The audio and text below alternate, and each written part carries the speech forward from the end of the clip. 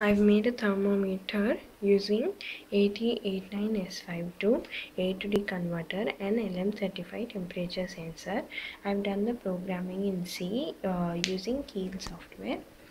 Now you can see that the temperature keeps changing between 29 and 31.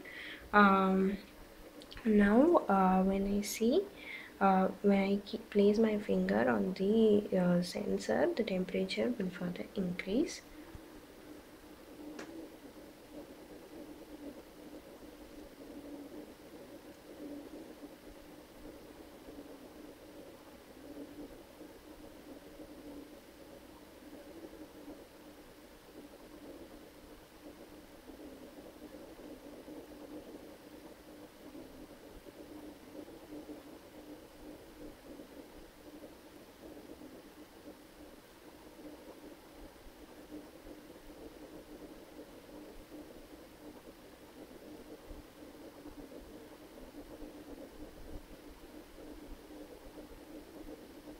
changes between 33 and 35 now uh, this is a bottle of very cold water. I'm going to place it around the sensor and you will be able to see that the temperature further decreases from 31 to a lower temperature.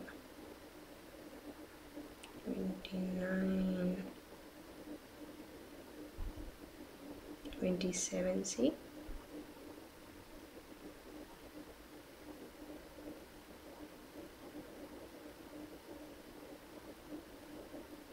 25 it will take some time to decrease even further.